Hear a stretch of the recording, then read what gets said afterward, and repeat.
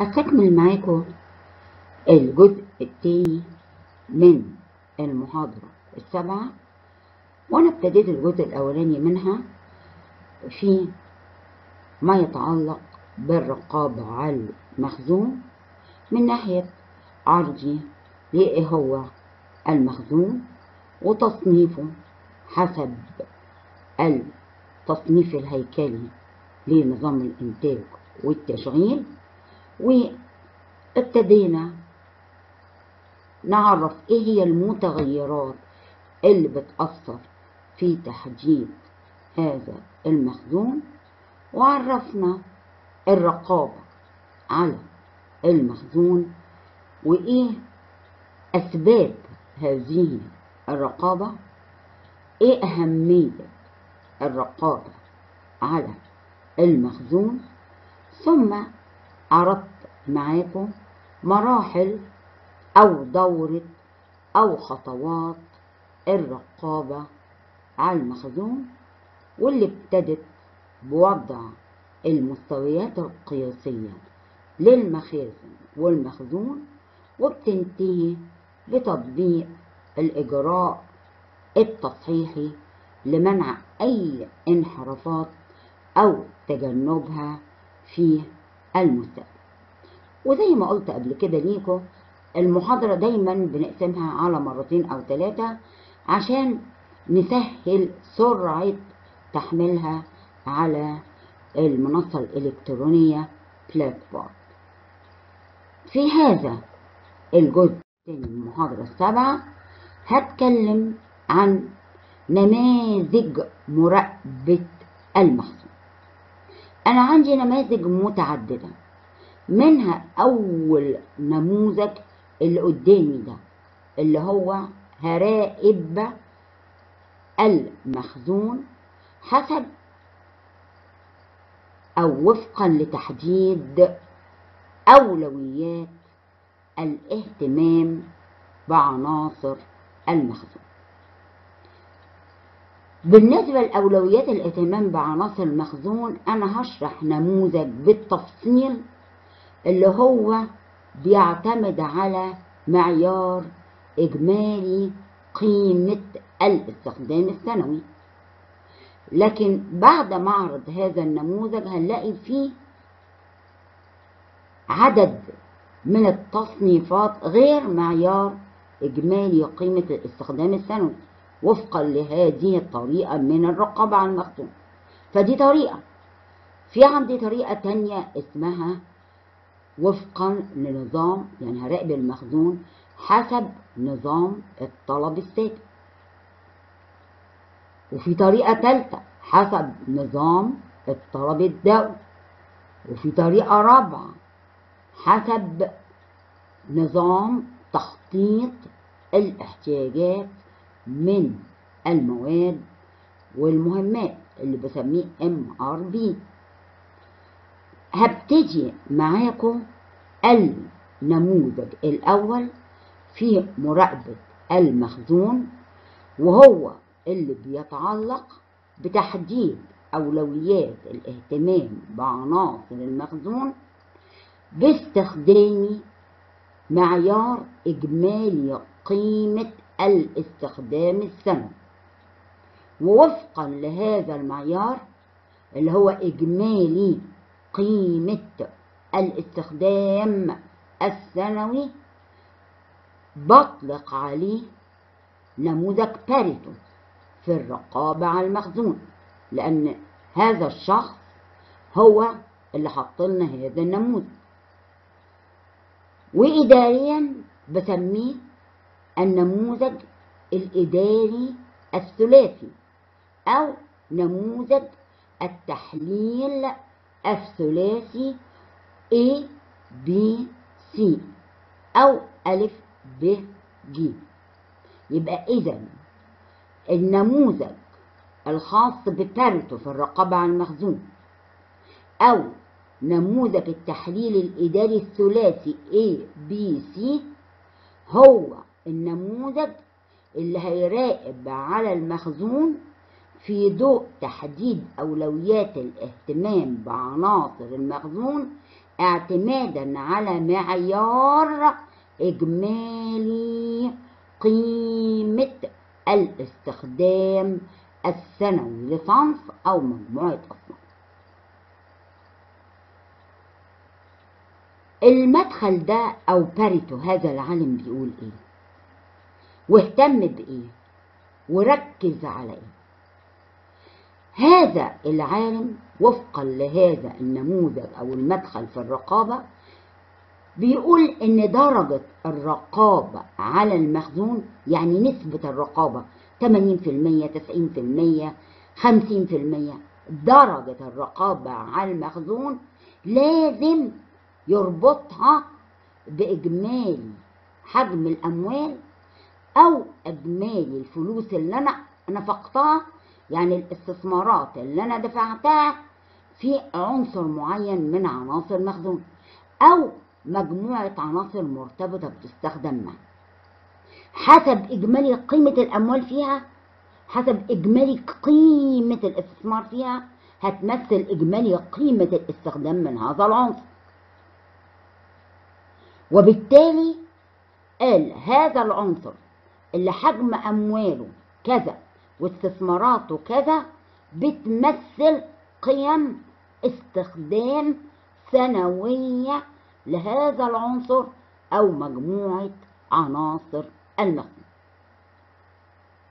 ده بالنسبة للمدخل أو وجهة نظر العالم الإداري باريتو في الرقابة على المخزون باريتو استخدم أسلوب إداري تحليلي وهو بيراقب على المخزون وفقا لنموذج التحليل الثلاثي قال إيه؟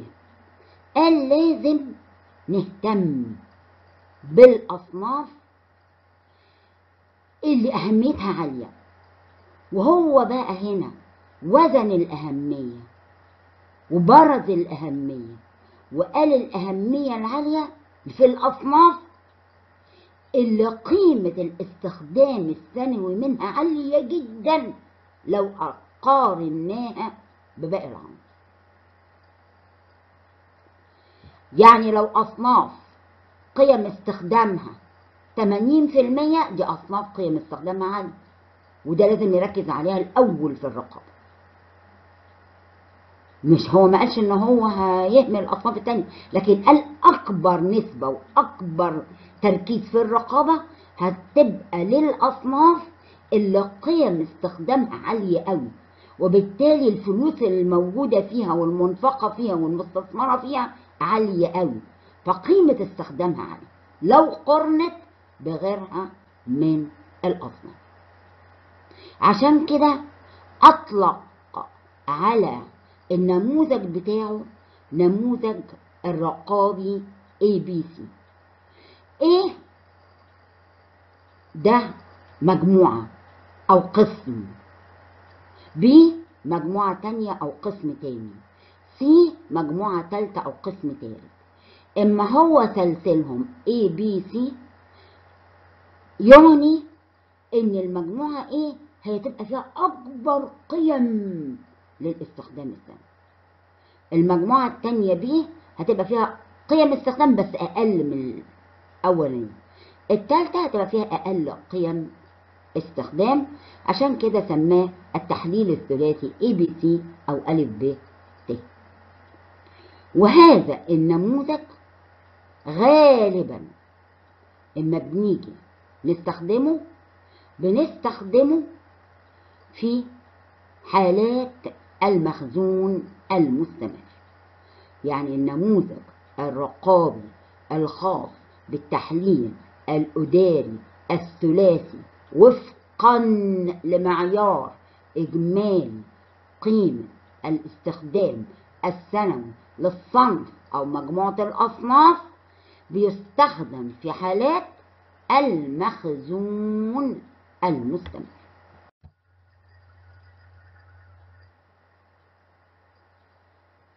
النموذج ده بيتبني على ظاهرة.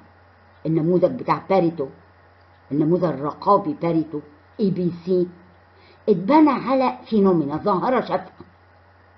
هذا العالم باريتو وشافها في عدد كبير من المصانع. شاف إيه؟ لقى في عدد كبير من المشروعات الصناعية في نسبة كبيرة من المشروعات الصناعية. إن عشرين في المية تقريبا يعني مش بالتحديد بس بتدور حول النسبة العشرين في المية عشرين في المية تقريبا من عناصر المخزون من أصناف المخزون.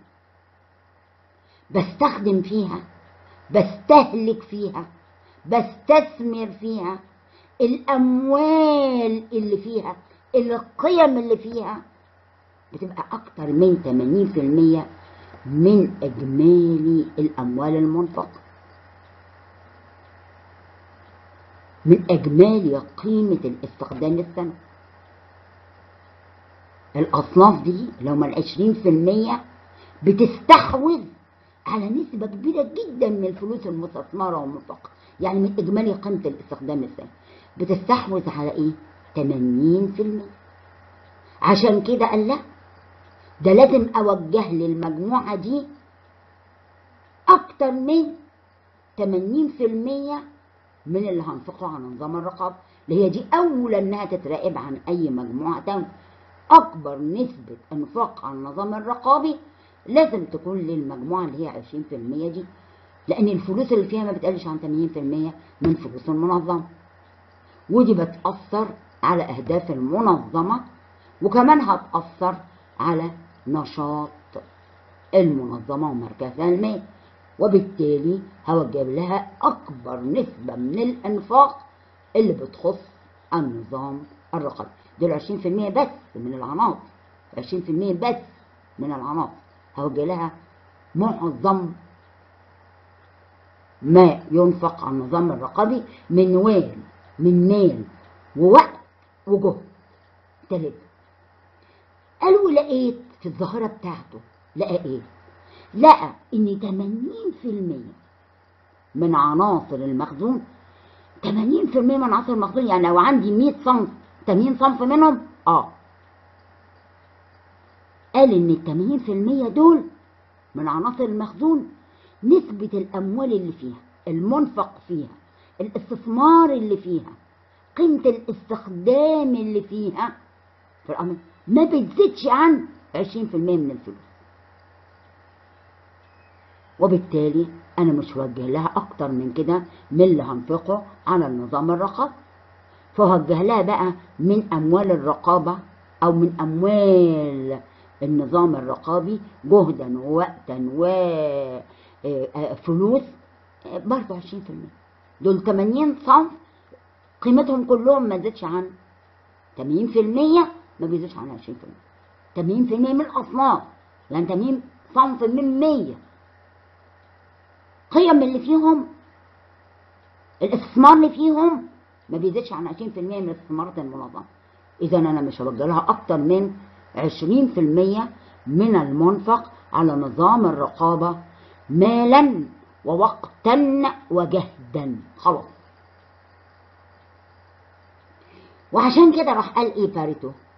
قال وعشان كده بقى لو ركزنا على عدد قليل وإحنا بنراقب على المخزون العدد القليل ده من عناصر المخزون اللي بيمثلوا لي قيم عالية قوي هقدر أحقق درجة عالية جدا من الرقابة ما حسب الظاهرة اللي شافها هو شاف كده هو شاف إن عشرين صنف تقريبا بيستحوذوا على 80% من الفلوس. فخلاص بقى. قال عشان كده بقى إحنا لازم نركز في الرقابة على هذا العدد القليل يحقق لي درجة عالية جدا من الرقابة. وإحنا لسه عارضين التوازن في الأهداف في الرقابة وعارضين أهمية وأهداف الرقابة على المخزون. فده يحقق لي بقى درجة عالية من الرقابة وهيحقق أهداف الرقابة. وقال في نفس الوقت أنا مش ههمل العناصر التانية أنا هراعيها. أنا هراعي العناصر التانية بس هراعيها بدرجات وأنا براقب عليها. وأنا بنفق في نظم الرقابة عليها هراعيها بدرجات حسب أهميتها. وعشان كده أطلق على النموذج الرقابي ده اسمه فسمى النموذج هذا الرقابي سماه نموذج باريتو في الرقابة على المخزون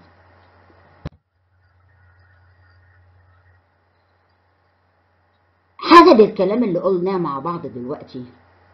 حسب ما رأى باريتو من ظاهرة حسب ما إحنا قلنا هنقسم المنفق على نظام الرقابة حسب قيم استخدام الأصناف. باريتو قال بقى في ضوء ده إحنا نقسم المخزون لثلاث تصنيفات. ثلاثة section ثلاثة classification ثلاثة.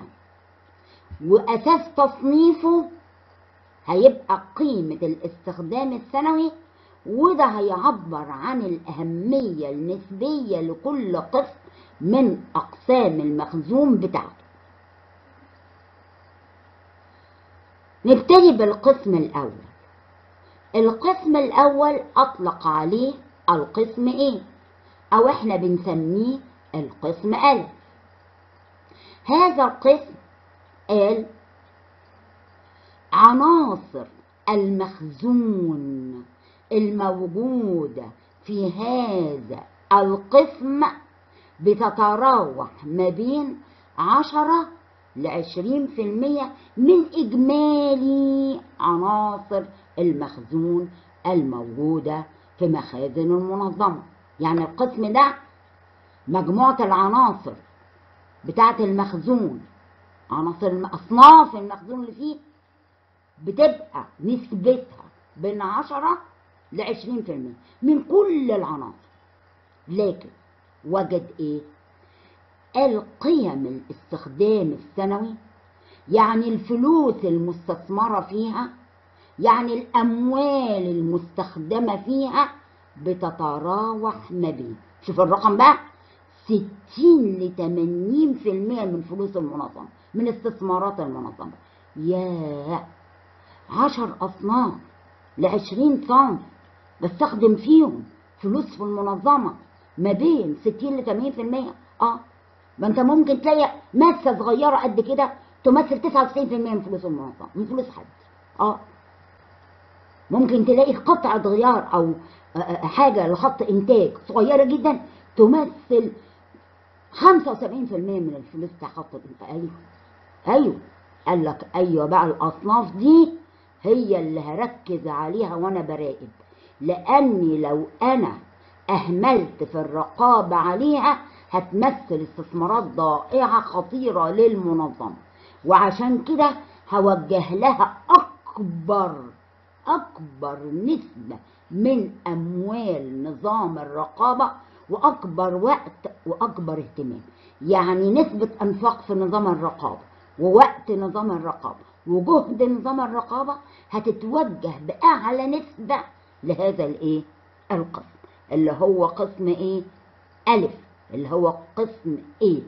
وعشان كده هنعمل له رقابة دقيقة جدا مشددة جدا مستمرة لأن قيمة المنفق على الأصناف دي عالية أوي وبالتالي قيمة المنفق على الرقابة على هذا القسم هتبقى عالية.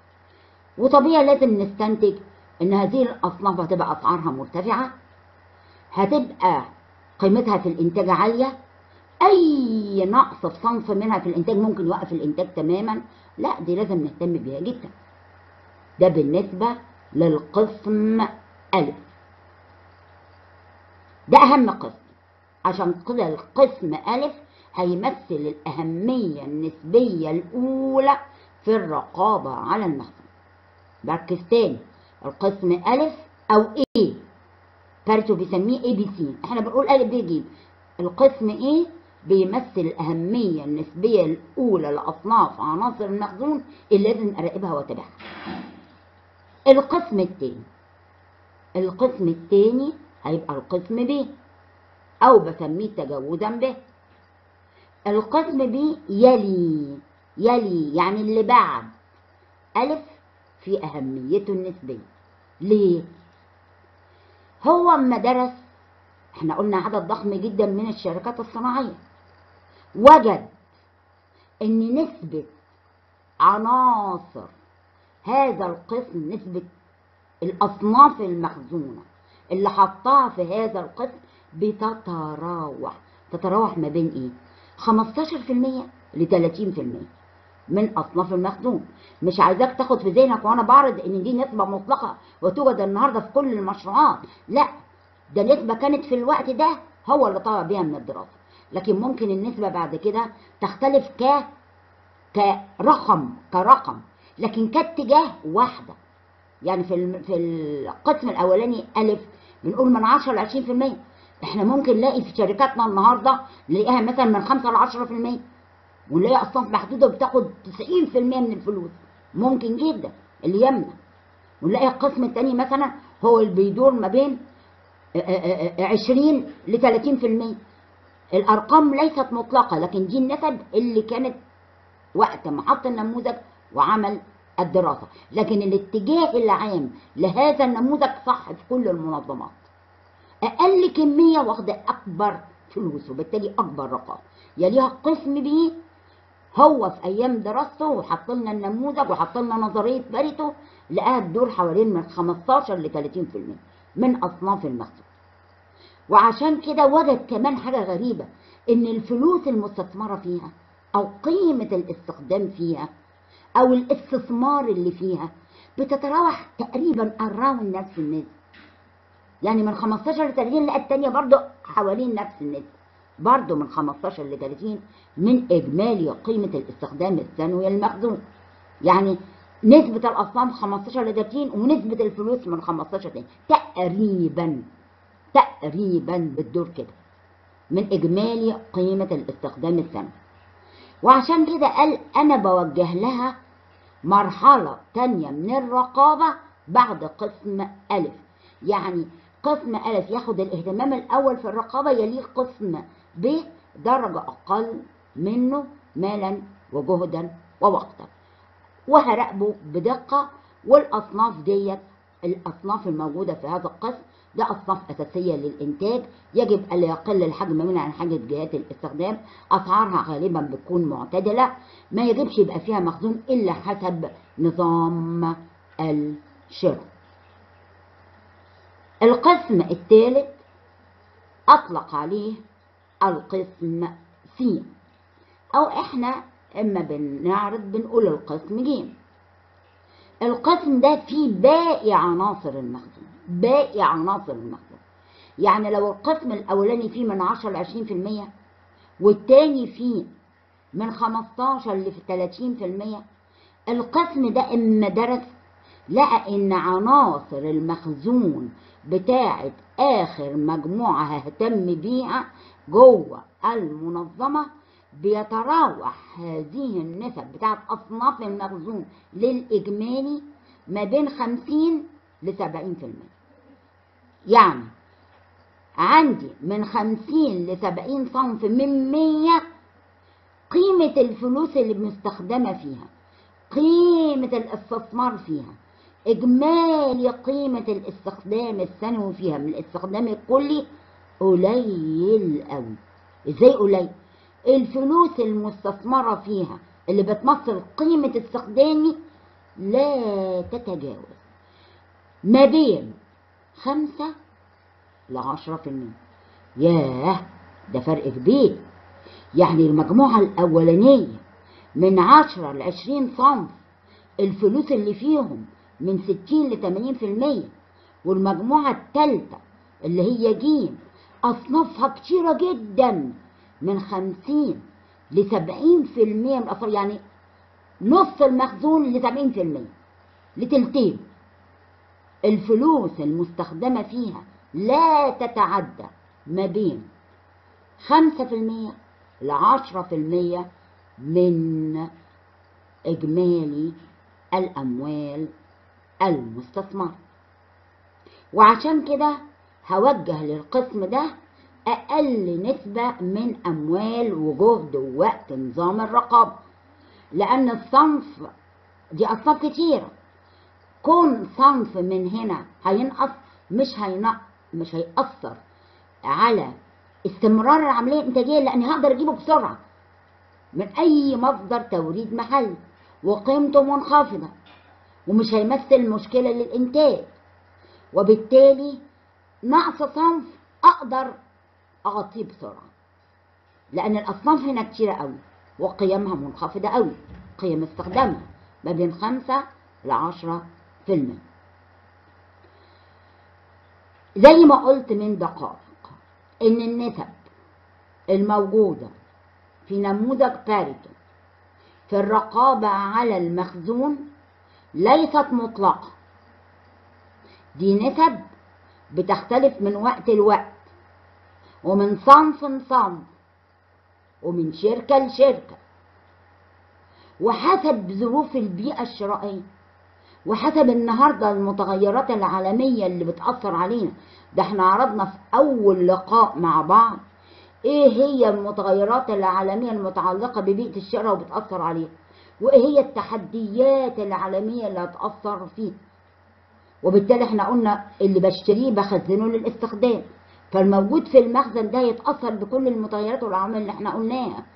وبالتالي نسب هذا النموذج هتتوقف على الظروف المتعلقة بكل منظمة بطبيعة نشاطها بالحقبة الزمنية اللي هي فيها بمتغيرات البيئة الشرائية بطبيعة مصادر التوريد بمتغيرات النظام العالمي الجديد بالتقنية والتكنولوجيا والتطوير والتحديث والإبداع والتغيير وكل ما يحدث في الظروف العولمية اللي قدامنا.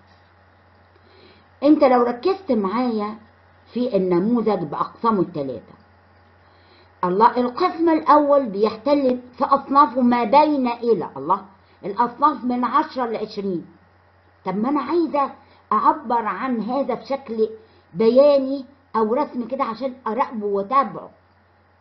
طب واستخدامه ما بين ستين لتمانين طب أنا هتابعهم إزاي؟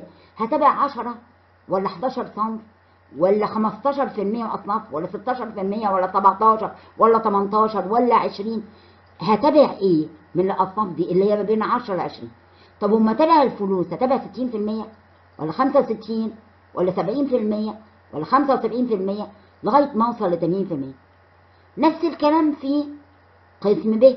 برضه هتابع إيه من الأصناف؟ هتابع 15 ولا 20% ولا 25% ولا 30% وفلوسهم نفس الكلام. في قسم سي نفس الكلام هسأله الناس. الأصناف هتابع من 50 ل 75 هتابع 50 ولا 55 ولا 60% ولا 65% ولا 70% وهكذا في الأموال.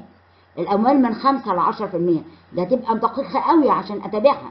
هتابع 5 ولا 6 ولا 7 ولا 8 ولا 9 لغاية ما أوصل ل 10 منعا لهذا الكلام وعشان ما أقول أتابع إيه والرقابه بتبقى إيه ونسبه إيه إحنا هنطبق على هذا النموذج أسلوب إحصائي بسيط اسمه الوسط الحسابي عشان نبين أقسام عناصر الأصناف اللي أنا هراقبها وإجمالي قيم الاستخدام السنوي لهذه الأصناف ونعبر عنها في جدول بسيط. فهستخدم الوسط الحسابي بأسلوب رياضي. وده بنسميه لو جالك في البابل شيت choose the right answer أو جبنا سؤال تحليلي حسب شكل الامتحان لغاية دلوقتي مش عارفين. الترجمة الرياضية لنموذج باريتو هتبقى باستخدام الوسط الحسابي. يعني هنعمل حساب للوسط الحسابي لنسب الأصناف ونعمل حساب الوسط الحسابي لكل قسم من أقسام مخزون باريتو في إجمالي قيم الاستخدام السنوي يبقى عندي عمود للأقسام وعمود لنسب الاستخدام وعمود لنسب الأصناف ونوضحها مع بعض دلوقتي. الوسط الحسابي لأي لأي شيء عبارة عن مجموع العناصر على عددها. عايزة تجيب الوسط الحسابي لنسب أصناف الأقسام وأجيب الوسط الحسابي لنسب إجمالي قيمة الاستخدام السنوي لهذه الأقسام. نبتدي العمود الأولاني. العمود الأولاني عبارة عن إيه؟ الأقسام اللي قالها فارس قال القسم الأولاني هسميه ألف أدي ألف قدام أو إيه القسم الأولاني ده بيمثل إيه؟ الأهمية النسبية الأولى لعناصر المخزون كويس طب القسم التاني سماه إيه؟ سماه بي القسم التاني قال عليه إيه؟ يلي القسم الأول في الأهمية النسبية طب القسم التالت سماه إيه؟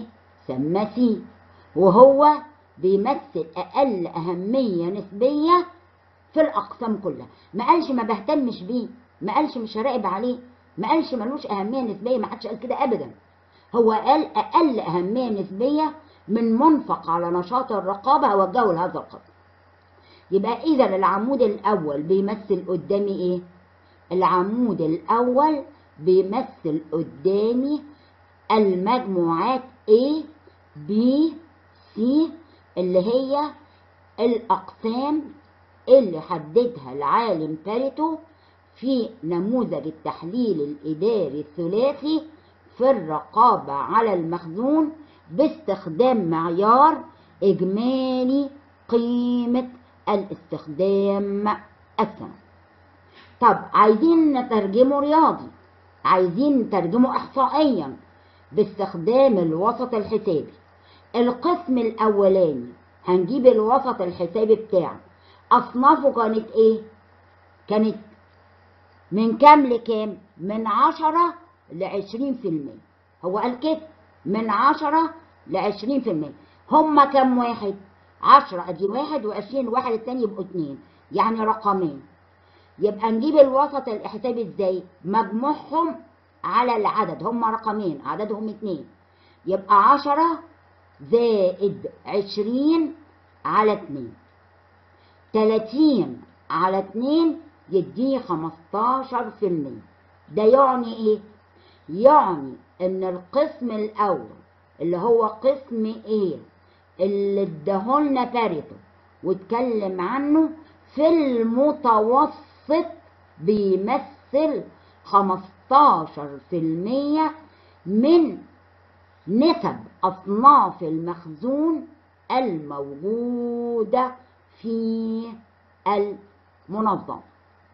طب نمسك القسم بي نخلص العمود ده كله. القسم بي النسب أصنافه إيه؟ قال بتتراوح ما بين 15 ل 30 في المية. 15 ل 30 في المية. 15 ده رقم و30 رقم. يبقى رقمين. يبقى اقسمهم على اتنين. يبقى 15 زائد 30 على اتنين. 15 زائد 30 على اتنين يديني اتنين وعشرين ونص في المية. معنى ده إيه؟ معناها إن نسب نسب عناصر المخزون الخاصة بقسم بي في نموذج باريتو بتمثل اتنين وعشرين ونص في المية من أصناف مخزون المنظمة ده معناه كده. طب القسم الأخير القسم سي قال الباقي كله الباقي كله كان كام؟ كان ما بين خمسين لخمسة وسبعين في المية. طب نجيب الوسط الحسابي بتاعها خمسين زائد خمسة وسبعين في المية على اتنين الناتج هيبقى اتنين وستين ونص في المية ده يعني إيه؟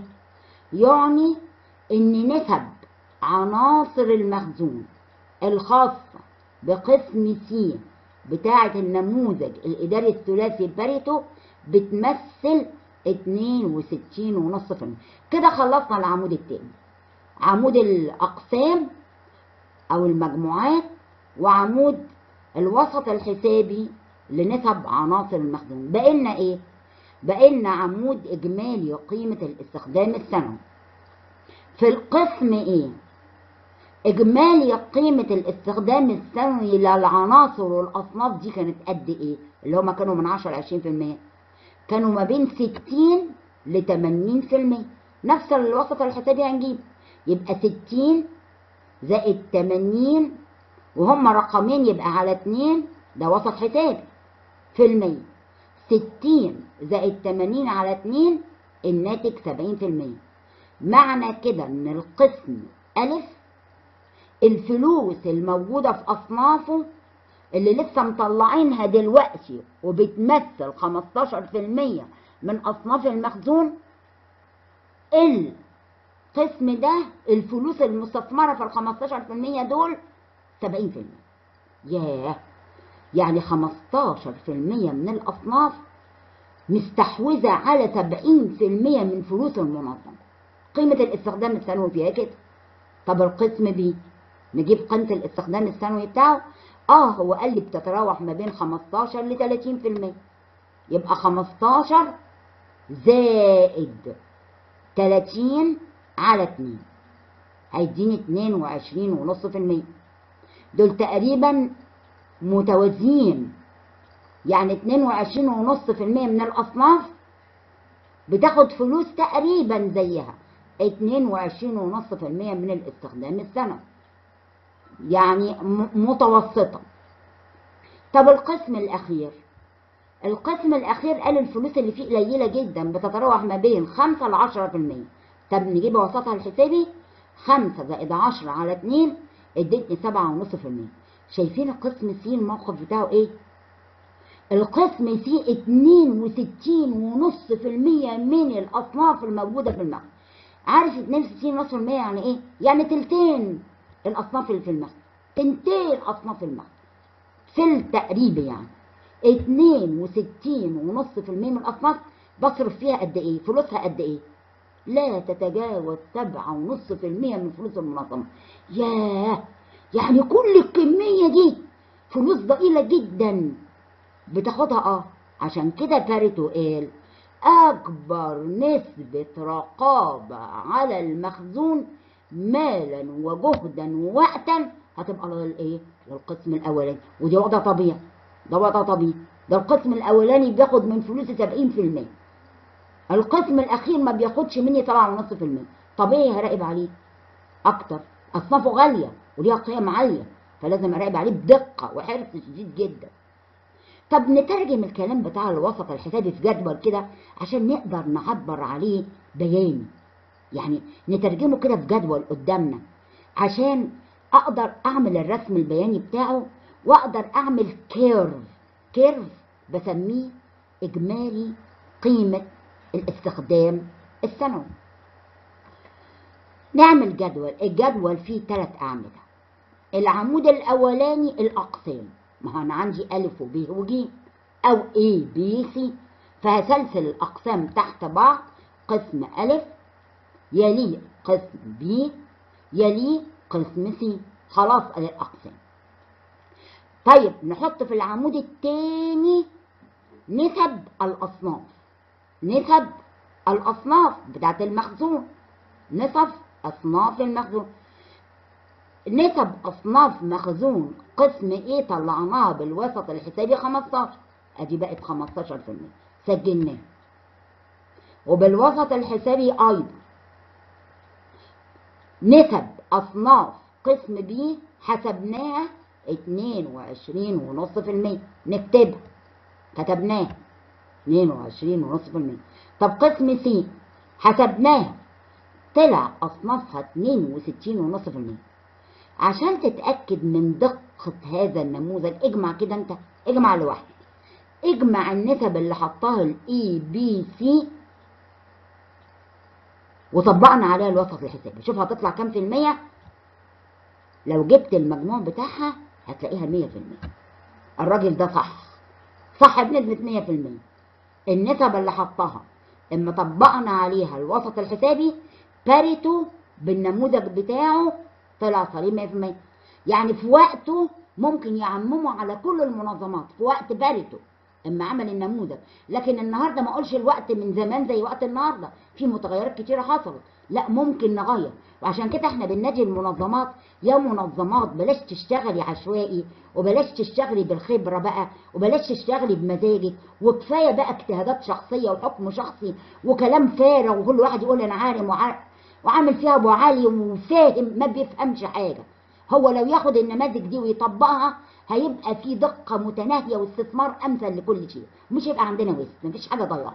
لكن اللامبالاة كل واحد شاري راسه وبيشتغل بمخه بتجربه جد جد جد جده هو ده اللي مضيع الدنيا. لا إحنا نعرف العلم وفوق كل ذي علم عليم ربنا قال لنا هل يستوي الذين يعلمون والذين لا يعلمون؟ والله مش هيستوي. اللي عارف مش زي اللي مش عارف.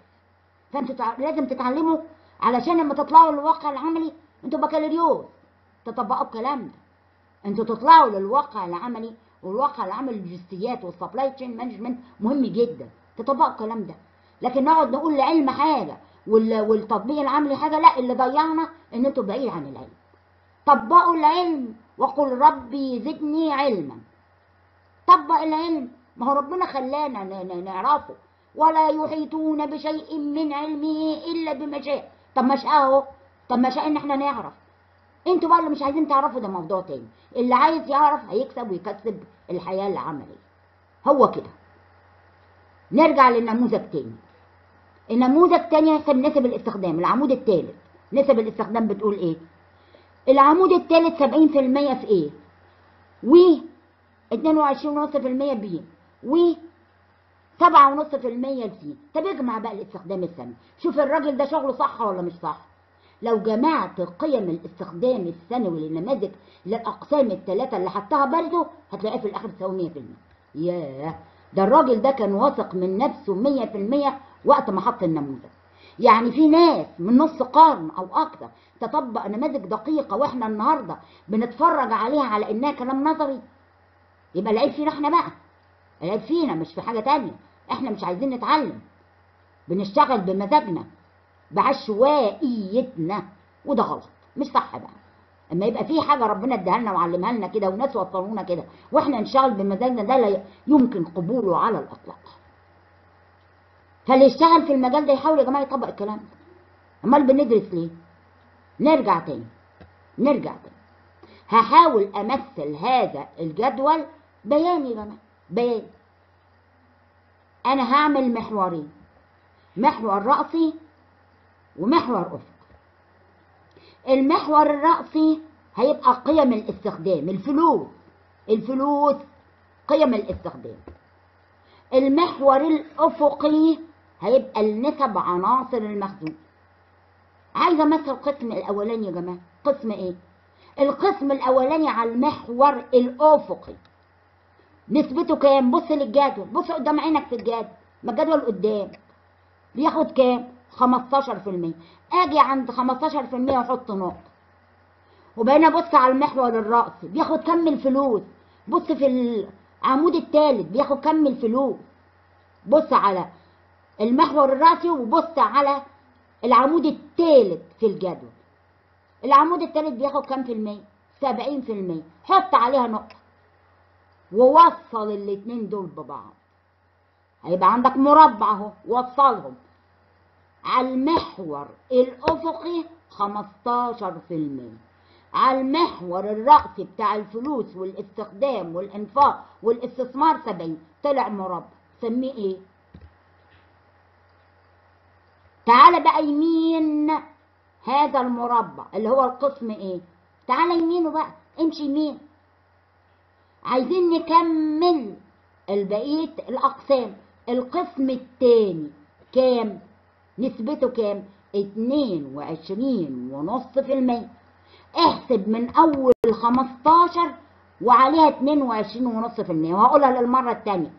أنا القسم ألف وقف عند خمستاشر. عند خمستاشر يا ابني. عند خمستاشر في المية. المحور الأفقي خمستاشر في المية. ما تقوليش بقى جت منين؟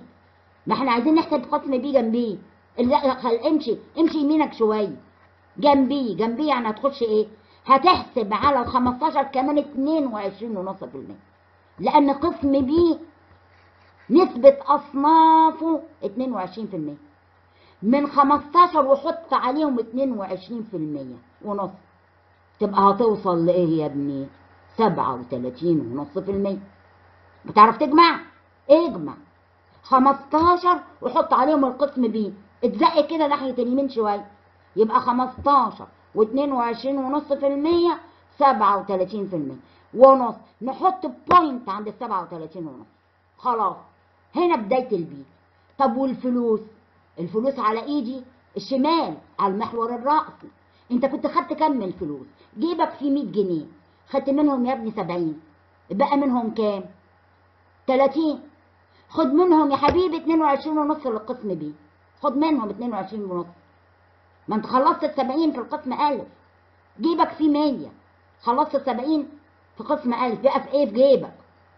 بقى 30 خد منهم 22 ونص في المية للقسم بي اطلع فوق. يبقى 70 وهتصرف عليهم 22 ونص في المية. هتوصل لإيه يا حبيبي؟ هتوصل لإيه؟ 70 و22 ونص في المية. يبقى 92 ونص في المية. كده الفلوس اللي بجيبك قربت تخلص. خدت 70 للقسم إيه وهتاخد 22 ونص في المية للقسم بي جيبك فيه 100 جنيه. خدت منهم 70 للقسم إيه وبعد كده خدت 22 ونص جنيه ونص للقسم بي 70 و22 هتصرفهم. ده للبي وصلت ل 92 ونص في المية. جيبك يا حبيبي فيه كام؟ خدت الأول 70 وبعدين خدت 22 ونص. بقى كام في جيبك يا بابا؟ سبعة ونص. يبقى إحنا لغاية دلوقتي عندنا قسم إيه وقسم بي قسم إيه قدامي اهو وقسم بي قسم بي وصل في عناصر المخزون إلى 37 ونص في المية. ووصل للفلوس اللي أنا صرفتها ل 92 ونص في المية. بص بقى الباقي المخزن. بالله عليك أنا عايزك أنت تحسب باقي المخزن. احسب بقى يا حبيبي من 37 ونص في المية ل 100 في المية. احسبها من غير ما نبص في في جدول باريتو عشان نشوف الراجل ده دقيق بنسبة 100% ولا لا. بص كده الكمية اللي عندك. بص. احسب. انت وصلت لنسب المخزون 37 ونص في المية. اوصل كده لغاية 100% ما هو المخزن هيبقى 100% 100% ناقص 37 ونص في المية. يبقى الكمية دي قد إيه؟ 62 ونص في المية. بص كده بجدول باريتو. يا نهار ابيض. ده إحنا بصينا لنسبه وطبقنا عليه أسلوب رياضي وإحصائي ووسط حسابي وطلع تمام الكمال. 62 ونص شايف شغل الناس؟ شايف شغل العلماء زمان؟ أدي الشغل. من 37 ونص في المية ل 100 في المية اللي عندي بالظبط 62 ونص في المية. لو بصيت في الجدول اللي عملته الباريتو قال لي إن نسب القسم C 62 ونص في المية. وأنا بحسب دلوقتي. ده الراجل ده 100 100 ناس بتفكر وبتشتغل صح. طب نبص لباقي الفلوس. إيه باقي الفلوس اللي في جيبك؟ إيه باقي الفلوس اللي في جيبك؟ انت صرفت 70 وبعد كده 22 ونص في المية لقسم بي باقي كام في جيبك؟ 70 و22 ونص 92 في النص. 92 ونص. باقي كام من المية؟ 100 ناقص 92 ونص 7 ونص. بص كده الجدول باريتو.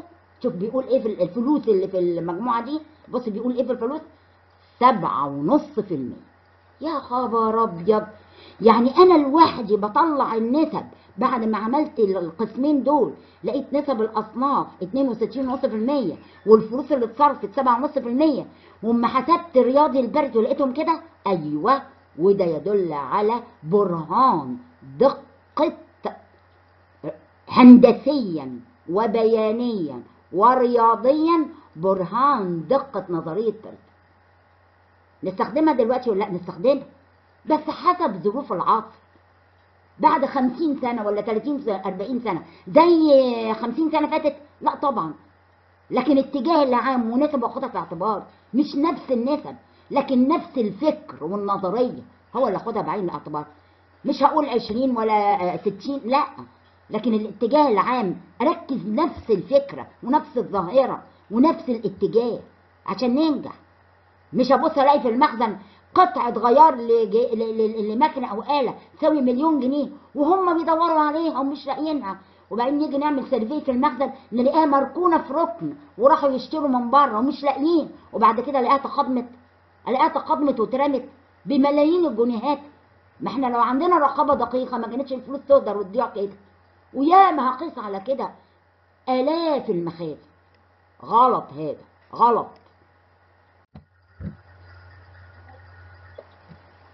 هخرج بنتيجة هخرج بنتيجة دلوقتي. حسب النظام ده. القسم إيه هوجه له درجة عالية جدا من الرقابة.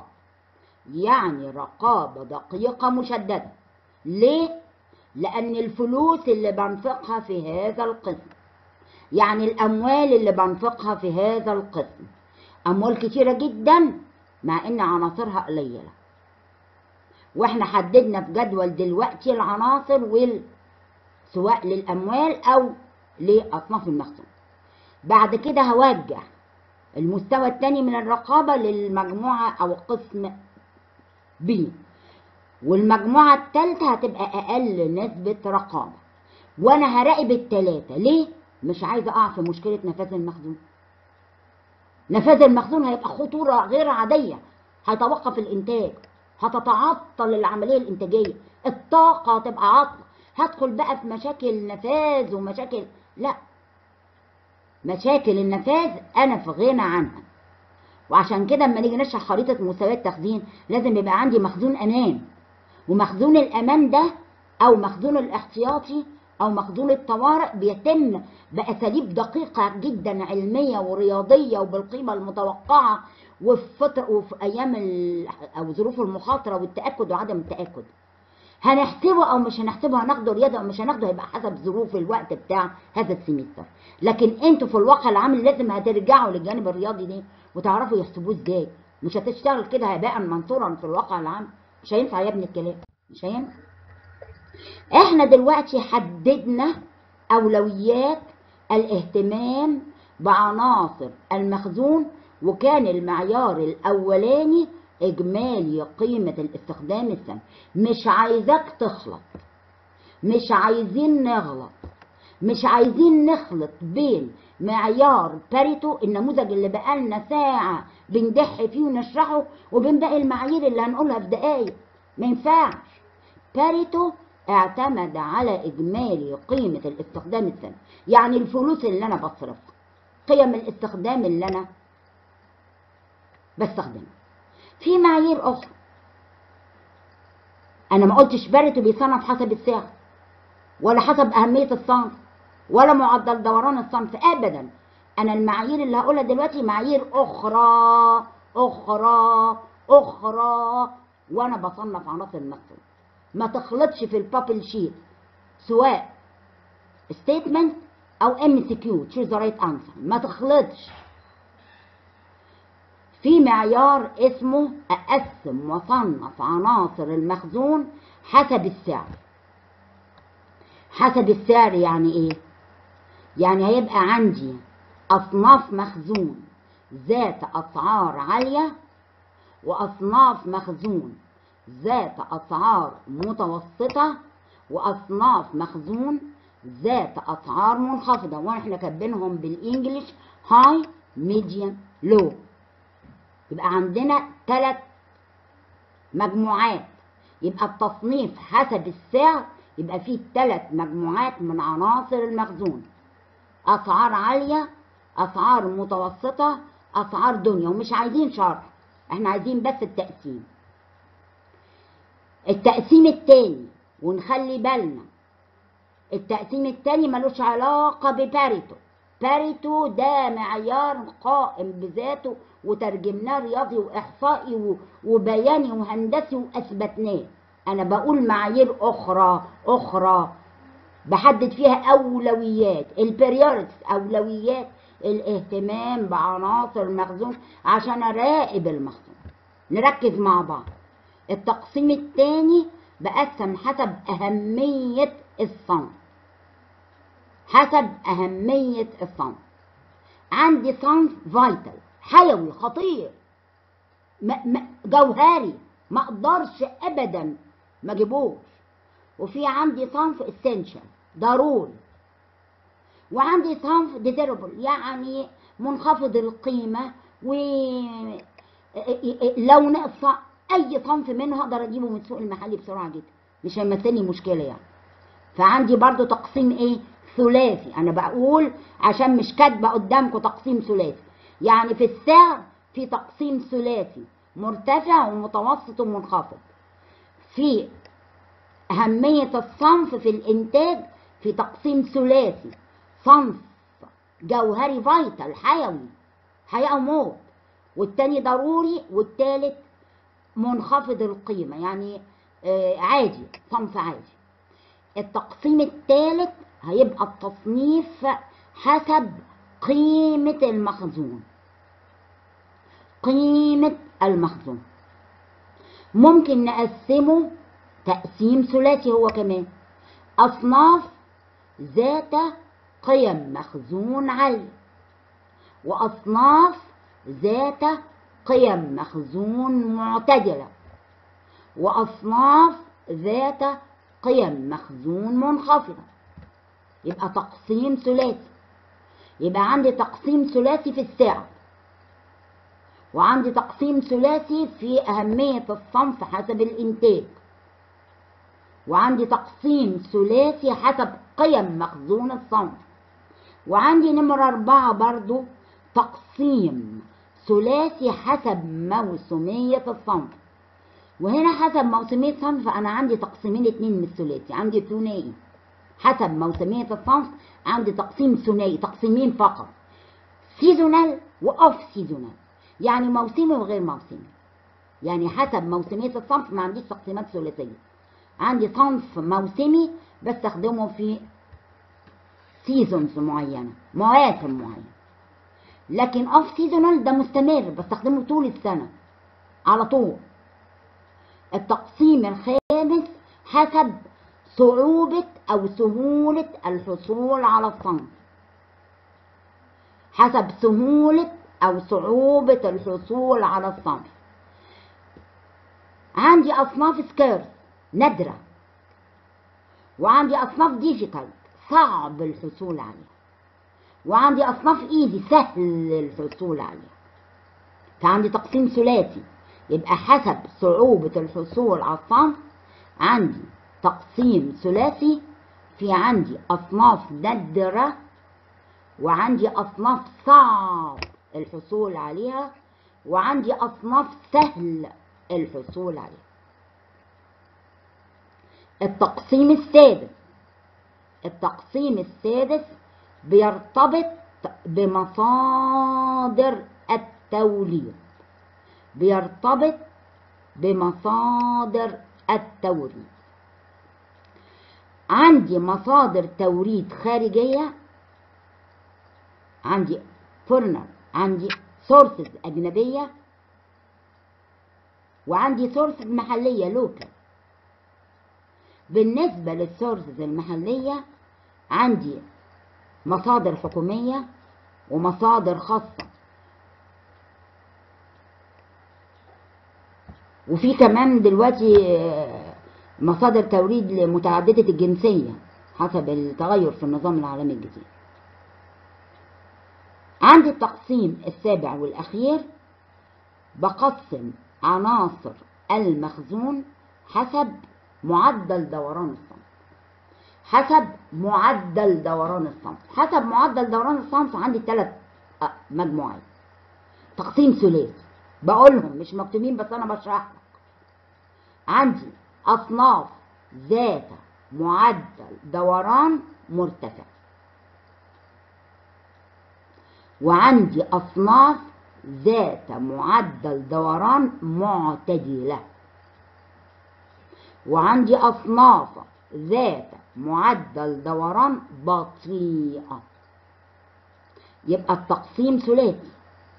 يعني إذا السبع تقسيمات اللي قدامنا كلهم فيهم تقسيم ثلاثي لعناصر المخزون حسب أولوية الاهتمام بعناصر المخزون باستثناء التصنيف الرابع اللي هو حسب الموسمية هو تصنيف ثنائي. تصنيف ثنائي. تصنيف ثنائي. ثنائي يعني عندي أصناف مستم... موسمية وأصناف مستمرة على مدار السنة. دي التقسيمات السبعة الخاصة بتحديد أولويات الاهتمام بعناصر المخزون. كل دول ما لهمش علاقة أبدا بالتقسيم الأساسي اللي راقبنا بيه واللي ترجمناه رياضي واللي رسمناه بياني وبرهناه واللي بيتعلق بنموذج باريتو التحليل الإداري الثلاثي وده بيستخدم معيار إجمالي قيم الاستخدام السنوي يعني الأموال والاستثمارات المنفقة في عناصر المخزون. بكده يا جماعة يبقى أنا خلصت لكم الجزء الثاني الخاص بالمحاضرة. الثانية اللي بيتعلق بتحديد أولويات الاهتمام بعناصر المخزون. لكن ده نظام. هل عندي نظم أخرى؟ آه عندي نظم أخرى.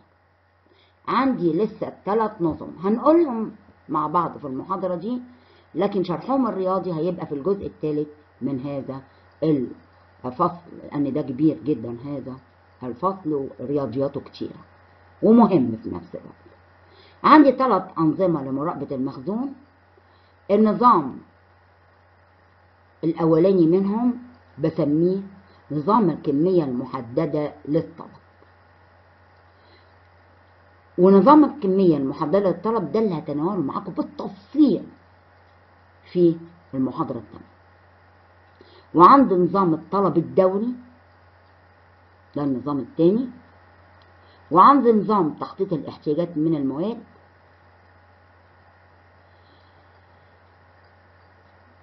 حسب الوقت.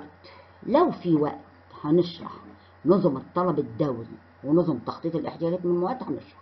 مفيش وقت انت عليك طبعا بعد ما إن شاء الله ربنا ياخد بإيدك وتاخد البكالوريوس لازم هتطلع وتقرأ باستفاضة والحاجات كلها تقعد تتبعن فيها لأن مهمة جدا جدا في الواقع. بالنسبة للنظام الأولاني اللي قلنا هنتكلم عليه باستفاضة اللي هو نظم الكمية المحددة للطلب النظام ده بيهتم بجانبين مهمين جدا وإحنا بنطبقه عمليا وبنشرحه. النقطة الأولانية هي كمية الطلب والنقطة الثانية نقطة إعادة الطلب. كمية الطلب اللي بيحضروا معانا أو اللي بيتابعوا أونلاين هيلاقونا حددنا الكمية المناسبة لتشغيل الكمية الاقتصادية باستخدام المعادلات الجبرية وحددناها بطريقة الجدول الرياضي البياني. لكن ما حددناش نقطة إعادة الطلب اللي هو مستوى اللي هو ال level بتاع re-demand point وده هنشرحه مع بعض في المحاضرة التامنة. نظم الطلب الدورية لأ نظم الطلب الدورية دي بتركز على نقطتين غير دول خالص. بتركز على ال lead time اللي هي فترة التوريد فترة التوريد وبتركز على الحد الأدنى للمخزون. فترة التوريد والحد الأدنى للمخزون إحنا هنشرحهم في خريطة مستويات التخزين. وهنتكلم في الجزء العملي والرياضي المتعلق بهذا الجزء تفصيلي قلت في المحاضرة التامة بين النظامين دول عندنا أربع أنظمة فرعية. عندي نظام اسمه سياسة نقطة إعادة الطلب بس الكمية ثابتة وأقعد أراجعها بصفة مستمرة. وفي النظام ده كمية الطلب بتبقى محددة منتظمة على طول ونقطة الطلب هنا بتبقى ثابتة. النظام الثاني بسميه نظام الاستكمال الدوري للمخزون.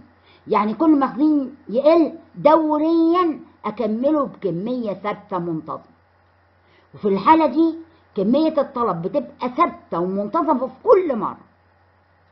لكن نقطة اعاده الطلب هي اللي بتتغير النظام الثالث بسميه أو بسميه سياسة الاستكمال مش الدوري بقى. الاختياري للمخزون حسب مراجعته الدورية للمستويات التخزينية في الحالة دي كمية الطلب هتبقى متغيرة في كل مرة لكن نقطة إعادة الطلب هي اللي هتبقى ثابتة. كمية الطلب أغيرها ونقطة إعادة الطلب تبقى ثابتة وكلامنا على كمية الطلب ونقطة إعادة الطلب وفترة التوريد هيبان وأنا بشرح خريطة مستويات التخزين النظام الفرعي الرابع هي سياسة الاستكمال الدوري للمخزون. وهنا الحالتين غير مستقرين ومتغيرين. كمية الطلب اللي بكمل بيها هتبقى متغيرة ونقطة إعادة الطلب هتبقى كمان متغيرة. يعني عندي نظام الطلب الثابت ونظام الطلب الدوري. بين النظامين دول عندي أربع أنظمة فرعية أو أربع سياسات فرعية إما سياسة نقطة الطلب لكمية ثابتة أو الاستكمال الدوري للمخزون لكمية ثابتة أو الاستكمال الدوري الاختياري للمخزون لكن بمراجعة دورية أو الاستكمال الدوري للمخزون بس نقطة كمية الطلب هتتغير ونقطة إعادة الطلب هتتغير